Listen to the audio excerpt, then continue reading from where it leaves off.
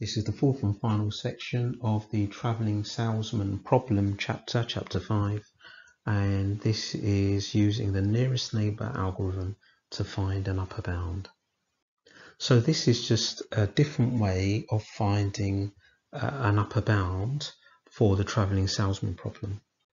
And the reason we use it is because uh, previously we've used minimum spanning trees to find an upper bound and just doubling the weight of a minimum spanning tree. That's fine if the network is small, but if the network is large, that can take a very long time to do. So here's the algorithm. So first of all, we start with any vertex. Then we select the nearest vertex that has not yet been visited. So we'd probably use a distance table to do this. And then we repeat until all vertices have been visited and then we need to make sure that we return to the starting vertex. Then we choose a different starting vertex and then we'll repeat this process again. So what we'll have are lots of different tours through the network uh, with different weights. And then uh, when we've, uh, all of the vertices have been selected, so we'll have all these different tours starting and finishing um, at different vertices, maybe starting at A, finishing at A, starting at B, finishing at B, and so on. We choose the tour with the lowest weight as an upper bound. So example 9. Apply the nearest neighbour algorithm using A, then B, then C as starting vertices to find uh, an upper bound to the travelling salesman problem.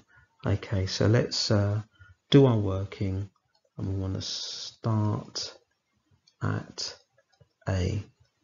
Okay, so I'm starting at A. I want to see where I go next.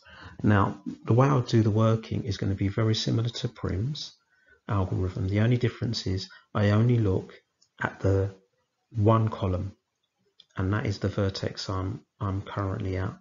Now, I'm not going to cross out row A because I'm going to need this to get back to where I start.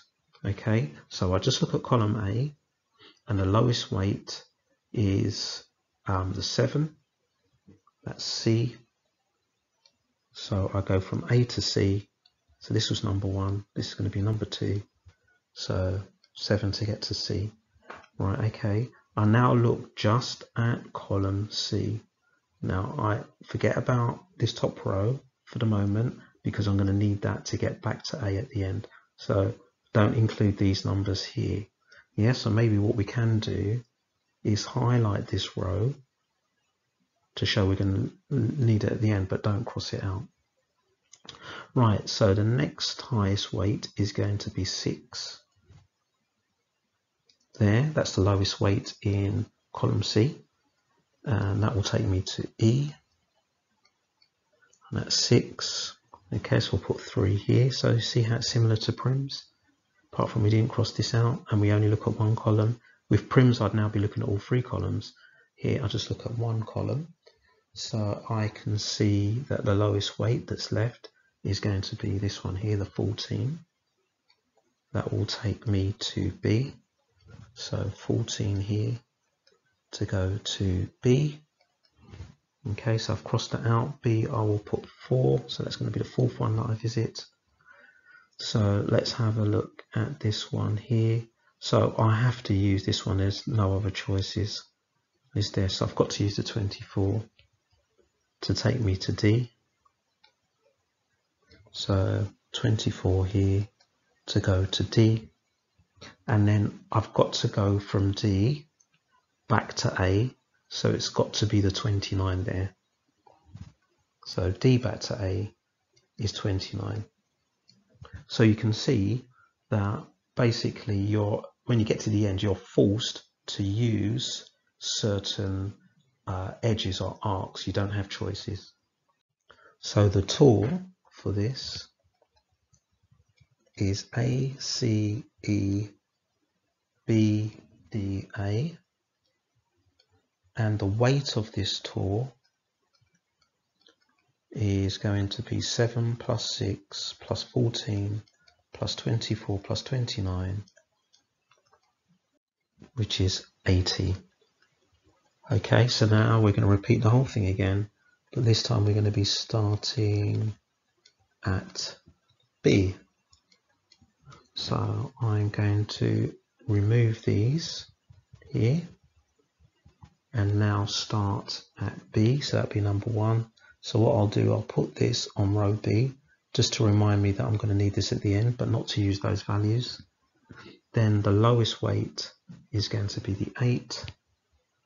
So I go from B to A with a weight of 8. So I'll now cross out A. Now look at column A and the lowest weight is going to be the 7 here. So that's going to be the third one. So 7 to get to C. Okay, so now we're going to look at column C. Then um, the lowest weight there is E. So you can cross that out. So E is going to be fourth. And that will be 6 to get to E. So now um, E to D, well, we've got no choice. It has to be the 21 to get to D. 21. And then finally, D back to A, sorry, D back to B this time. D to B. So D to, to B, so that's got to be this one here, the 24. So the tour for this one is B, A, C, E, D, and the weight, that will be 8 plus 7 plus 6 plus 21 plus 24, which gives a weight of 66. And then lastly, starting at C. So let's clear our table again and start at C and see where we end up. So C is going to be number one. I will just put a ring around that so I don't use those values until the end. Then I can see the lowest weight in C is the 6. So I'm going from C to E with a weight of 6. Where do I go from E? So E, the lowest weight in this column here is the 13. So then I go from E to A. That's 13. Where do I go after A? Just make that a bit clearer. So um, A, I'm going to look down here. So um, then I will go to B next. E to B, which has a weight of 8. B, a weight of 8. Then where do I go from uh, B? Well, I have to go to D. That's going to be a weight of 24 to D. So we can cross that out there. And then we want to go back to our starting position. So we want to go back to C. So we need to look at uh, C to D, which is 23. 23. So we can write down our tour here, which is C, E, A, B, D, C. And the weight of this tour is 6 plus 13 plus 8 plus 24 plus 23 which gives a weight of 74. So remember to find um, an upper bound for this problem.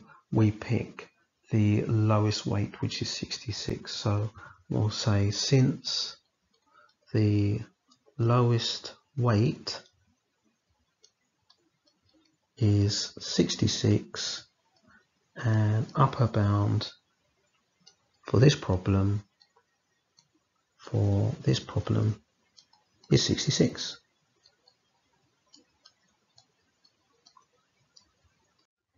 Just highlight that there. So this is example 10. This is a table, or this is the table of distances from example 8. We found that the optimal solution lay in the following interval. Okay, let's just underline that there, highlight it. Use the nearest neighbour algorithm using A then B as starting vertices to find upper bounds for the travelling salesman problem. Right, so let's start by starting at A. So we circle row A, we don't cross it out and we put 1 above column A. We look for the lowest weight in column A. That's going to be 47, so we now move on to column B. The lowest weight in B is 121. So we now move on to column C. The lowest weight in column C is 200. So we now move on to column E. The lowest weight in column E is 131. So we now move on to column H, vertex H. The lowest weight in column H is 70. So we now move on to vertex F, column F. The lowest weight in column F is 144. So we now move on to column G, vertex G. The lowest weight in column G, which is actually just the last remaining weight in column G, is 155. So we now move on to vertex D. Then we need to return from D back to A and using the table that has a weight of 382. The tour is A, B, C, E, H, F, G, D and the weight is 1,250 miles. So we're now going to repeat the process but this time we're going to be starting at B. So we circle row B because we're going to need this for the return uh, journey at the end and we look for the lowest weight in column B. The lowest weight is 47 which takes us to vertex A. Now in column A the lowest weight is 84 which then takes us on to vertex C. In column C, the lowest weight is 200. So we now move on to vertex E. In column E, the lowest weight is 131, which then takes us on to vertex H. In column H, the lowest weight is 70. So now we move on to vertex F. In column F, the lowest weight is 144. So we now go from vertex F to vertex G. And then uh, the last visit is going to be column G. So we have to go to D, which is 155. And then from D, we need to return back to A like this. Now you might find it easier just to put arrow A at the end here. I'm going to do it this way. So we're going to go from D back to, sorry, not D to A. D back to B. Let's get that correct. So D, B, 402. So now we'll write down what the tour is, starting at B and what the weight is. So the tour is B, A, C, E, H, F, G, D, B, and the weight is going to be the sum of 47 plus 84 plus 200 plus 131 plus 70 plus 144 plus 155 plus 402 and that gives a total weight of 1233 miles. So let's just highlight these for the moment because we're not quite finished in terms of what we need to do. So we've got these two weights here and here. So we're going to comment on this in part B. And part B, the question says, review the interval containing the optimal solution and amend if necessary, giving a reason for your answer. Well, I've got an upper bound here of 1,237. My lowest value um, from performing the nearest neighbor algorithm is 1233. So let's amend it first, then we'll comment on it afterwards. So my new interval is going to be 971 um, greater than, or my optimal solution is going to be greater than uh, 971 miles. Optimal solution. But now my upper bound is going to be less than or equal to this 1,233 miles. Now we need to give a reason. So here's my reason here. We changed the upper bound to 1233 from the nearest neighbor algorithm because we want the optimal solution interval uh, as small as possible. So having this as an upper bound gives a smaller uh, optimal solution interval, which is what we want, than having 1, 2, 3, 7 miles. So you should now be able to do exercise 5D on pages 112 to 122. Just a quick recap. When we're looking at finding um, an interval for our optimal solution, when it comes to the upper bound, when we carry out the nearest neighbor algorithm, the um, smallest weight, the lowest weight, can give us a better or lower upper bound because we want this interval, we want to make that as small as possible.